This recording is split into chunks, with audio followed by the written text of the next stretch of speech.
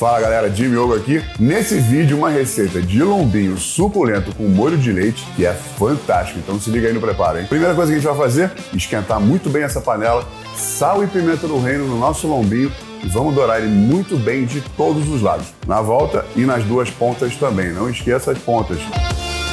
Vamos tirar esse lombinho de dentro da panela, vamos aproveitar esse fundo, um pouquinho mais de azeite e vamos dourar esse alho, esse alecrim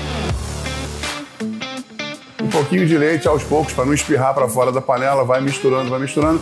Um litro e meio de leite resolve. A gente volta com o nosso pernil, baixa o fogo e deixa ele cozinhando por 40, 45 minutos. Tirou o lombinho da panela, vamos pegar uma outra panela, fazer um roux. O que é um roux? Roux é espessante, técnica francesa, manteiga e farinha de trigo na mesma quantidade. Então aqui tem duas colheres de sopa de manteiga, duas colheres de sopa de farinha de trigo, mistura muito bem e deixa cozinhar em fogo baixo. Eu gosto do meu roux assim escuro.